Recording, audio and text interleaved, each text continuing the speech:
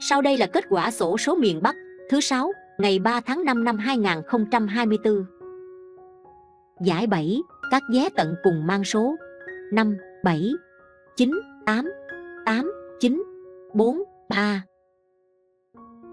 Giải 6 các vé tận cùng mang số. 2, 4, 5, 3, 7, 7, 1, 8, 3 Giải 5 các vé tận cùng mang số. 5611 0078 5218 2300 4982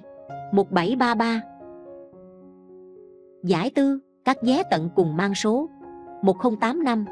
3878 8682 2686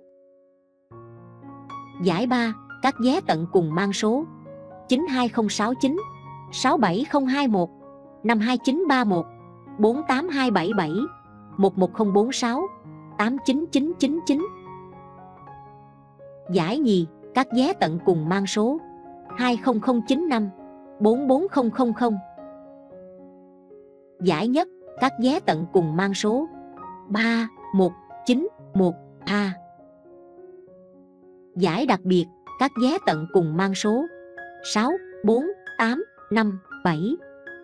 với mã vé số đặc biệt lần lượt là 1 LP 5 LP 7 LP 10 LP 11 LP 13 LP 14 LP 18 LP